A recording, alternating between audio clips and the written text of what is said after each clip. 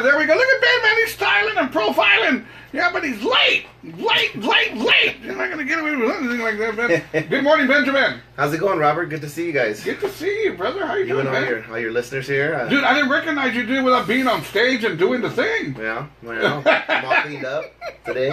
He's a Ben. Yeah, Robert. Well, you know, you know how it is, Robert. You know how that goes, Robert. Hey, man. Got my after morning or after look at me, beer. dude, right here, dude. Everybody's all over the state. What was that guy? It's the, uh, Jeremiah Johnson. Remember Jeremiah Johnson back in the day, dude?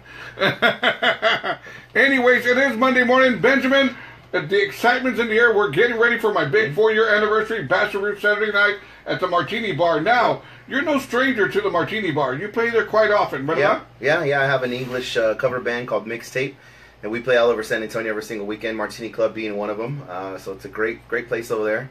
Uh, great staff, and uh, it's a nice little venue. Actually, I think I, I think the name on the marquee says uh, it's the best kept secret in San Antonio, uh, which is right because I had never heard of it before we started playing there. But uh, they have a nice a nice crowd and a nice little dance floor, and uh, again, it's just it is a nice little best kept secret type place. But you know what, Benjamin? I used to use that line on you guys.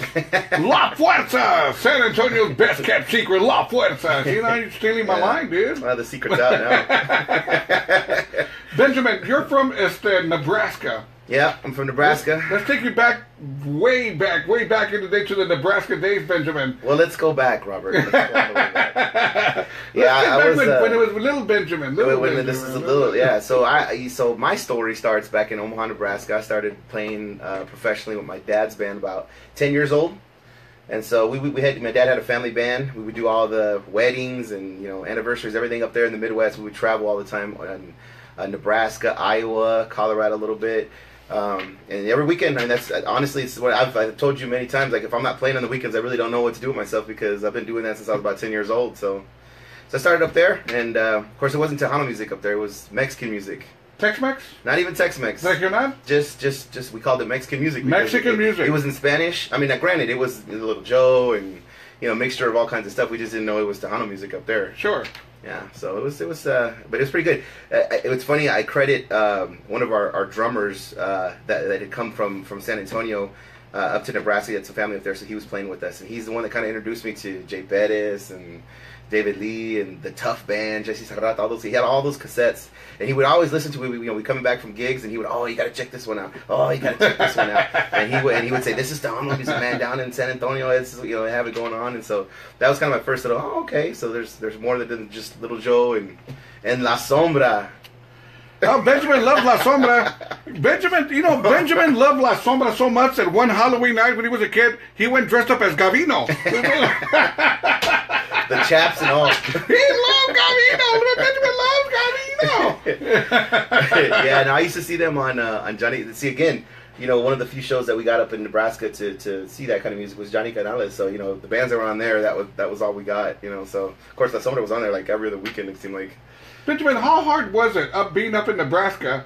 It's not like today where you can download music and do whatever you're doing, but back in the day, uh, being in Nebraska, how hard was it to get a hold of Mexican music, Tejano music up there? Wa- Was Yeah. it was it available? It's you know they had like one record shop I think that would kind of just again they would get their stuff from Texas or wherever and um, it- yeah it was really really few and far between I mean I mean it was probably they would think there was maybe uh, one shop in town that sold uh, you know homemade tortillas and uh, maybe some some uh, some of those uh, camisas from from uh, from Mexico and some, maybe some pots and then of course you know a little section with some tapes it was it was all in one type of shop it, it was no record stores or anything like that they even had those soccer shirts. They say Bimbo bread. yeah, yeah, yeah. so I take it that in your mindset it was I want to go to the to the to the, what do they call it the uh, Tejano music the capital of The capital, Tejano yeah. music. Oh, yeah, yeah, you yeah. wanted to come to San Uh-huh. Antonio you had to come to San Antonio Yeah. you can call it like your destiny your dream to be in San Well, Antonio so you know, again, so back when I would when I would again, uh, you know, the drummer, he would show me all the uh, all the all the tapes from from Texas. You know, uh, with me, I, I'm really into history all the time, and I'm always into kind of like. You know what's the history behind everything and that kind of thing, and so I, I would I would look at those tape cassettes and the you know the tape backs and kind of, I would read all the names that were you know Sure, associated with it. and. Yeah, yeah, yeah. So I, I was I was kind of already you know I had heard of uh, you know the different clubs that these places that you know, they would film you know they would uh, record these live albums at and uh, you know um, all the names the producers Gilbert Velasquez and Jerry La Rosa I would see those names over and over and over and over and over again so I'd always think like hmm you know it seems like the, again it's the same people that are that are producing all this stuff so when I came here to San Antonio I knew a lot of those names and so as I started, in, you know, as I started meeting these people and, and getting into the industry myself, I kind of already knew who they were as I was meeting them Sure, and talking to them. sure, so, sure. so to me, I, would- I would always tell people, you know, it, it, and it, I think it's true for even even today in Tejano music, you see a lot of artists coming down from uh, Michigan and you know uh, up north and whatnot. Sure. And and I think you know you've seen a large uh, uh, explosion of, of folks that, that are trying to get into Tejano music because when you're not from here in Texas, you know you definitely hold it at, at a different you know level than.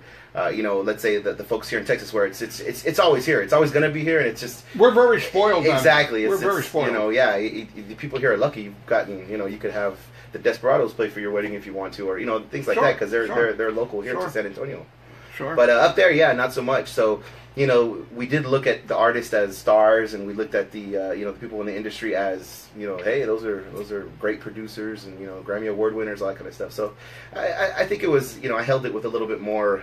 Uh, reverence, I guess you could say, when I came when I came here, when I first came here. So eventually you came to San Antonio, and right away, man, you wanted to attack the market. You Sure. were ready. You know, you were ready. Well, and I will say I went, you know, by way of Arizona because I did I did move to Arizona, and Well, I, before I came to San Antonio, Well, you know, let me just say this, you know, and I'm going to give a shout out to Eddie De Leon from Arizona. Ari- we- Let's not even talk about Arizona.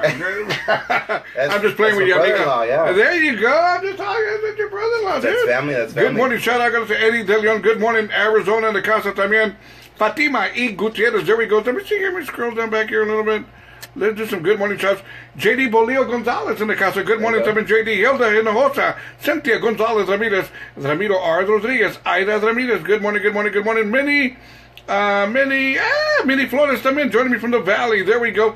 Olga Herrera, San Antonio, Texas. Good morning. Anyways, este, uh, so Benjamin, you come to San Antonio by way of Arizona, by way of Nebraska. Now you're here in San Antonio. Did you come here with a game plan already, or just like I I, don't did. know what's going to happen next? I did. Now I will say I, I came probably very naive, like most young artists at the time. I was I was about maybe 21 at the time when I came down here to San Antonio. And uh, so I thought it was going to be the cities were going to be paved with gold and accordion players hanging from the trees and Not even. and and I got out here and it was it was a little bit different than I thought it was. Not so much. I mean, again, granted, there was a lot of opportunity. It's just that there were so many bands and everybody was busy, and it was so hard to get a, a band going out here because everybody was playing with with everybody, you know. Uh, and so a lot of opportunity for talented folks. Um, and so I was I was lucky. I, again I came with the plan of we were going to start to kind of continue the band or half of the band that we had in Arizona. It was called Redline, and we played quite a bit out there in in, uh, in Arizona for, for all the folks that are maybe listening from Arizona. There we go. The Bronco Billies days, the, the Baja Chili's Bronco days. Yeah, there, there were some pretty decent clubs out there that we would play. I mean, we were quite busy out there. So when we came out here, it was like yeah yeah yeah. Um, and then quickly, you know, it, it, there was just so many bands out here. It was just like, you know, we're trying to get something going. It was tough, but I ended up hooking up with uh, with some guys again that were trying to start up, and they had been in bands before. Uh, one one guy in particular, La Fuerza, the band itself, was actually started by uh, a, a guy named Pete Gutierrez. Is, is it called, call him Tiny.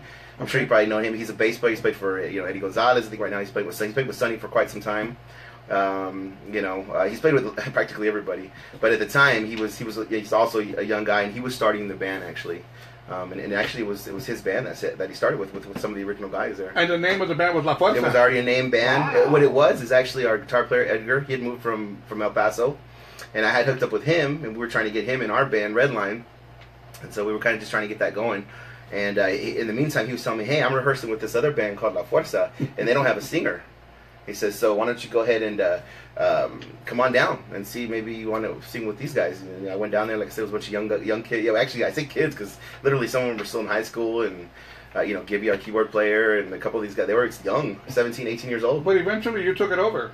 Yeah, eventually, um, over? you know, so the guy, some of the guys left, and, and the manager at the time, you know, asked me to kind of take it over and and see what I could do with it. He, he said, "Hey, well, you seem to know kind of what you're doing." And of course, as I mentioned earlier, I've been playing since I was ten, so I learned a lot from my dad. I credit a lot to my dad. You know, Ben on the senior. He's, he's uh. He's uh, the reason why I do what I do and uh, and and why I've been able to do it for so long because I, I learned a lot from him just from a business standpoint and the management side of it and how to keep a band running Sure, that kind of thing. sure. So so yeah, so uh, the manager kind of gave the band to me to run per se, uh, and uh, you know right away I said, okay, well he's fired, he's fired. I'm cleaning house. You go, Ben, I'm cleaning house. Good morning. Shout out to Benny Ramirez. I'm in. Uh, Mr. Joe Gonzalez. Good morning. Good morning. Good morning. There we go. Shout out from Omaha, Nebraska. There There, we go. Yeah, I my cousin. DD Reyes. go. Good morning. Yeah. There we go. Good morning. Bad Good morning. combination in uh, Los Rayos band. There you go. Now, Ben, eventually, you know, it's really, really weird. I've always said timing is everything. Eventually, uh, me and you cross paths. Yeah. You know, A well, I was faithful, a faithful you. evening. And uh, it was on a, on a nice fruitful evening there at the at uh, where was it at uh, where was it man where did we meet at I think it was at Graham's. I want to say Graham Yeah, Central Station here and somebody introduced me to you and and then um, said you were looking for somebody to help you out and definitely you needed some help you needed some direction and I was that person in a sense I didn't know at the time I said well let me see what I can do with you guys and lo and behold um, I kind of like uh, took over your, your booking your management Mhm. and things started kicking off and like, before Yeah. you know it La Fuerza caught fire you It- guys were kicking ass It, it was good. Uh, I mean, it was right at a time where, again, like I said, the band was. We had already started a demo. You know, we were kind of already on the road to. Uh, you know, we are trying to do some professional things. So a- as I kind of took over the band, there was a couple key things that I wanted to make sure we accomplished. So right off the bat, we needed to get a professional, you know, demo going. So we were already in the studio with Gilbert Velasquez and Right. Jerry. Herrera. So again, going back to those names that I remember from you know when I was a kid. Sure. Um, so we were in good hands musically. I also knew that we had to have good representation, and we Right. needed either a promoter or manager, or some someone professional, you know, to, to kind of take us and, and guide our our Sure. career and our bookings on. Kind Sure. of that's that's where you came into play. So when we hooked up with you, it was perfect. Uh, and I think we, I think you were that was right, you were right off of uh, starting your own thing because I remember you were I had just started being going Catalina. Capitol EMI. You were with I the was with my land. That was Catalina Records. Mhm. And uh, like I said, I was very blessed to have met Benjamin and, and to this new project that I started working with Ben Miranda y La Fuerza. And I got to tell you, and I've told Ben this, and I'll, I'll, I'll, I'll tell anybody out there this, which was that timing is everything. And I'll say that again. I've always said if Ben y La Fuerza would have been here back in the late 80s, early 90s, these guys would have exploded Yeah. on the Tejano scene like other bands were exploding because Tejano was on fire. Yeah. It was king, as they say. Yep. You know, you caught on at the tail end Yeah. of what was going on, but yet you guys were still doing actually very, very well out there, man. We did, I, you know. Again, going back to because it's kind of the the the, the naiveness of uh, of coming down here. I, I had no idea there were uh, radio charts and like all that kind of thing. I mean, I just thought, hey, well, people are playing music, and but there were there was a whole industry down here. I mean, there was movie, you know, or TV stations and record labels and all kinds of things. And, and of course, that's that's what you introduced us to. So, Right. uh, you know, you got us on the charts, and I mean, Right. I, I- you you were you were doing your job as far as you know getting us all over the place. Getting radio play, taking Yeah, on the road, and, and, radio and I will say to a lot of the bands and musicians out there that are still trying to do this stuff, you know, it's very vital that you get professionals in to do what they need to do. Yeah. If you're a band and you're wanting to play, you, you gotta get somebody that's going to book you. You know, if you're not already established and people don't know, you know, know who you Sure, are. sure. And same thing for radio play. You got to Sure. get you got to get somebody out there to promote your stuff and, and get it in the stations and. And, and that's the way it works. I, I keep on telling people that. I, I tell many, many bands that they drop the ball. And what I mean by this is this, Ben. It's one thing to put your money into uh, doing your recording. is one thing into putting your money into manufacturing your product. Yeah, yeah. But you can't forget about promoting your material as well. Sure. Putting money into it to go on the road or talk to people, whatever you need to do. That's vital. Because if, you- if you're going to put that to the side, kiss it goodbye, man. yeah, I mean, what good is it? I mean, you could have the best beer in the world, but hey, if it's not on any commercials or in any bars, I mean, hey, Hey, man. I tell people, I tell people, what are the some, some of the top products you see on TV? You'll see Coke, Budweiser, Miller Lite, Yeah. Pepsi, Ford, Chevy, whatever the case, and you see them over and over again, and they're big. Yeah. But you know what? They keep on promoting it because they know people will Marketing. forget you in a heartbeat. Absolutely, yeah. They will forget you. They will. You've got to promote your product, man. That's what it's about, man. And even about. music, even music. Yeah, so, absolutely. and even more so, it was funny because these guys were not playing whatsoever when I took them over. Yeah. And before you know it, I come, hey Ben, I got you over here. Hey Ben, I got you over there. Yeah. Hey Ben, and before you know it, man, these guys were exploding. I was getting them gigs. But it's one thing, and I will tell Ben this. It's one thing. I can put you up to the batter's box. You got to swing the bat. Yeah. You Oh, got to yeah. hit the Oh, yeah. ball. They- you got- All I can true. do is put you up on All you can do is give us the opportunity, and that's And then from there, and you got to from take it. And they took it, and they ran with it, and they were kicking ass. Now, tell you what, Ben, let's go ahead and take a break in the action, and let me go ahead and play one of your one of your biggest hits Yeah. off your first CD called Ilusión. Number five on the charts. Number There one we- in your hearts. Number five with a bullet. Good morning. I'm here with Ben Miranda of La Fuerza, aka Mixtape. That's right. Good morning.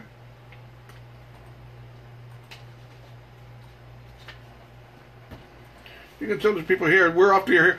Good morning. Shout out. Good out to let me see DJ Edward Castillo, Leroy uh, Urbaso. There we go. Magdalena Cervantes, DJ Edward Castillo, Leonard uh, Alfaro Alvarado, Angel Ana también. There we go. There you go. Good morning. There we go. Wow. I give everybody some shout outs.